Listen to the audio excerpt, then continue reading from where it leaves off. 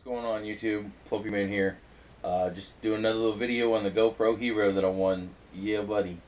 Um, was actually sitting here yesterday or a couple days ago messing around. They showed up yesterday. Actually, here's the envelope.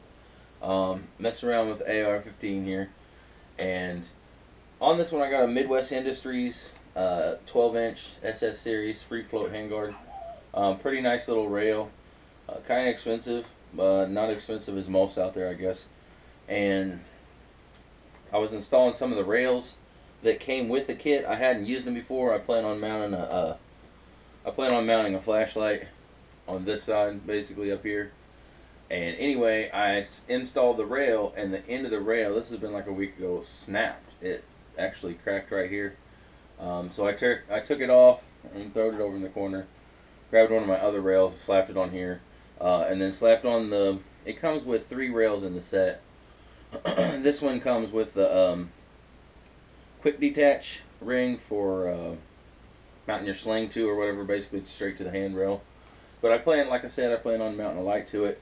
Uh, anyway, the first one that cracked, I called Midwest Industries right afterwards and talked to a guy. Um, really super cool, really knowledgeable. Um, he told me he was going to send me out a set. he took my name information, and I, I didn't even have to tell him anything except the crack. He said, well, the original ones were polymer. Uh, the new ones they come out with, or uh, he sent me his card. Um, guy's name was Andy. Super cool guy. Anyway, he took my information, and a week later, nothing ever showed up. So I called him back, and uh, they, he said this was a the first guy. I don't know if that was even him that I talked to. Um, but this was the second guy I talked to. He goes, "My name's Andy." He said, "I promise you, I'll send it out myself. Just give me your information, and it will go out in tonight's mail." Well, within like three days, I received this package from Midwest Industries. Um, he told me he was going to replace the rail, but uh, he sent me all kinds of stuff. I'll go ahead and jerk everything out of the package here. Um, set that up there. He actually sent me two. There's three rails in each package, but he sent me two full sets of uh, rail setups for the Midwest Industries uh, rail. He sent me a couple stickers. Also, I love these freaking stickers. I'm trying to fill up my entire door with stickers. So far, I got about 10 or 15. Any y'all got any stickers, let me know that you ain't using. I got stuff like Palmetto, uh, Primary Arms, Magpul, Aim Surplus, Cabela, stuff like that.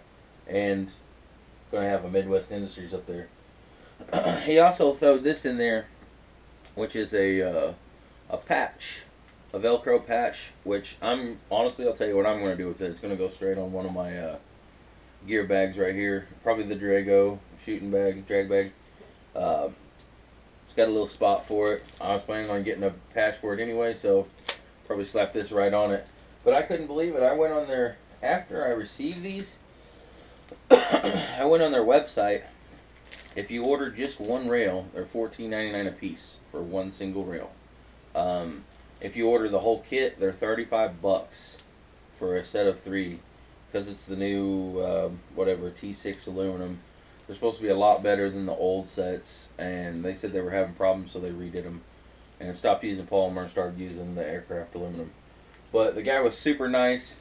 Uh, I couldn't believe it. Honestly, I still can't believe it. The guy sent me two sets um, but yeah, I'm gonna smack them on here. I'm gonna switch these out, switch this one, switch this one, and uh, see how that works. Hopefully these will be a lot better. Uh, like I said, the guys were real awesome at Midwest Industries.